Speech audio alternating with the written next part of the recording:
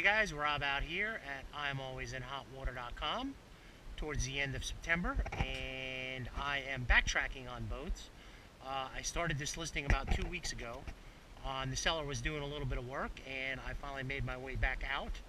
And what I'm going to try and do out here today on this 2008 Carolina Skiff 198 DLV with a Suzuki four-stroke, um, which is also a 2008 model uh, DF115 three blade stainless steel prop is just give you guys the walkthrough as I see it. Uh, second owner uh, purchased from a dealership and uh, the vessel has 500 about 500 hours on it give or take 480 to 520 uh, last service done in March of this year uh, probably about 40 to 50 hours ago.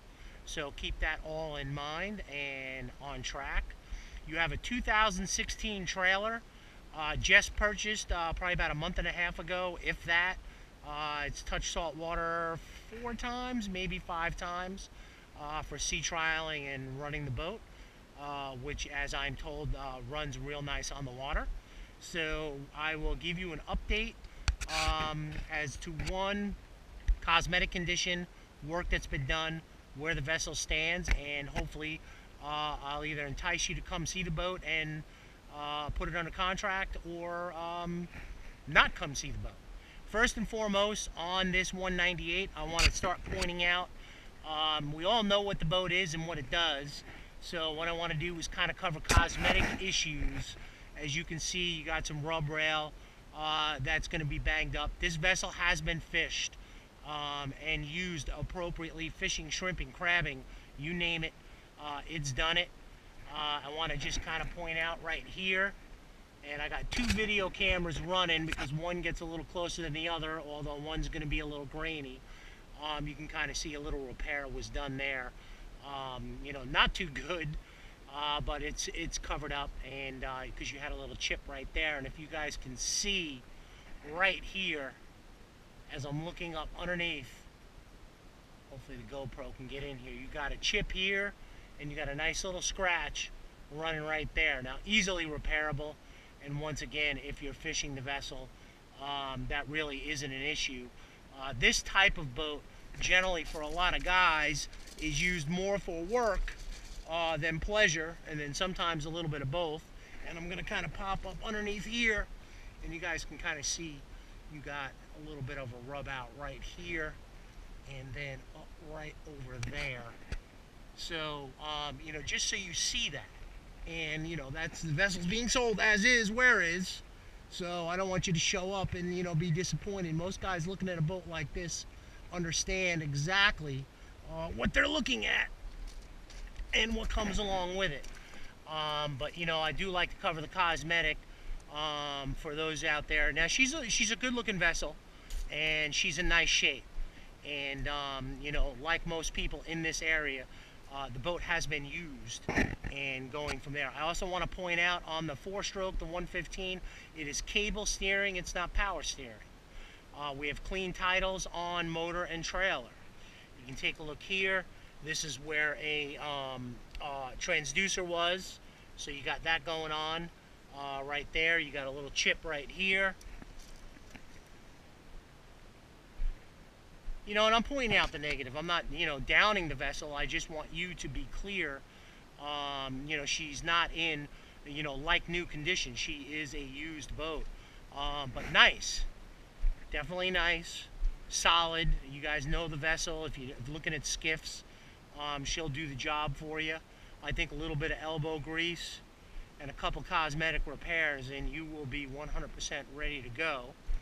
Once again, don't take my word for it. Bring your mechanic, bring a surveyor, do as you must. Once again, I'm just pointing out the obvious as we're walking around. He just gave her a quick rinse for me, so I'm to get it dirty a little bit. And, you know, no big surprises here.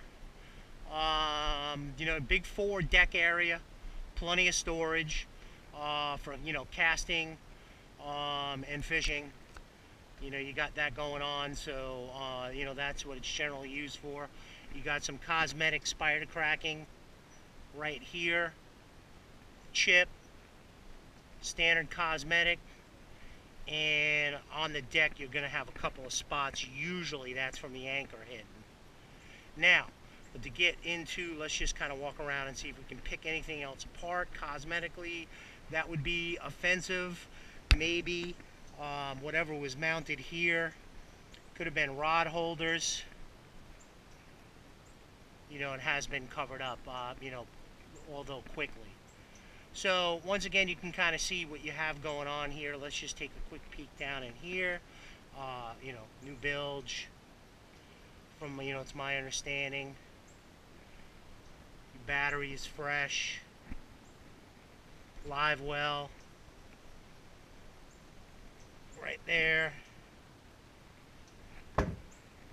Cooler box up on this right here. When I pop this down, you can kind of see you don't have your lever right there. Fuel tank. All right, now as I walk through, uh, cushions also brand new. Uh, probably just uh, four four months old uh, at best, and um, they were just put in, so you can kind of see you're good on that. You got a brand new trailer. Um, you should be good on service for a bit. Uh, new cushions there, so we kind of go with that. And uh, what we're going to cover here is, so you guys can see, your helm panel. Obviously, there's no GPS. Your bilge, your aerator, your nav lights, bait pump, and horn. Although I don't hear a horn working, so we'll just assume no horn. I don't see one. Uh, but most importantly, bilge pump, aerator, nav lights. Now, uh, fuel gauge. Um, shoot, is the fuel gauge? I think the fuel gauge. I can't remember if the fuel gauge is working um, or not. So uh, I'm going to assume no, being that I don't see anything kicking on, although there is very little fuel in there. Miles per hour gauge, uh, this does work. Um, he's got a, you know, it's got the little pinhole up in the bottom where it's taken in the water. And generally, most of those valves, after a while, it probably just needs to be blown out. Um, your tach is brand new. This tach was just purchased last week at Webster's Marine. And the key to this tach is, and kind of important for your Suzuki's in this type of model, is the um, you have your indicator lights in this tach. It's about a $400 tach, and it's going to give you temp, oil, um, you know, checking your engine and and all of the things when before your alarms go off. The RPM gauge right now is not revving up. Apparently, the new wiring it was a little different wiring than the old tach, although it's the same tach. Um, and he had it out on the water, and the RPM wasn't revving up. Um, obviously, the engine was revving, but it's not reading. He's going to go to Webster's Marine today and find out if there's an adapt or uh, what's the difference between that uh, two and three wire setup they sent to kind of get that worked out. But that may be something he may or may not be able to get worked out. Uh, he's pretty mechanically inclined. I assume that'll be working uh, once he gets done talking to them. So anyway, that's where you're at. Uh, miles per hour gauge will work. We just got to, you know, the line needs to be blown out, and um, you know, RPM gauge needs uh, obviously correct wiring adjustment. And you know, the rest of the boat's pretty simple, standard uh, remote Suzuki remote. So overall, that is it. 2008 198 DLV. This is what you're looking for. We have it give us a call. Reasonable offers will be considered on an offer sheet, and uh, that will require deposit to present to the seller. So anyway, Rob out here at IamAlwaysinHotWater.com, signing off. You guys have a great and safe boating day.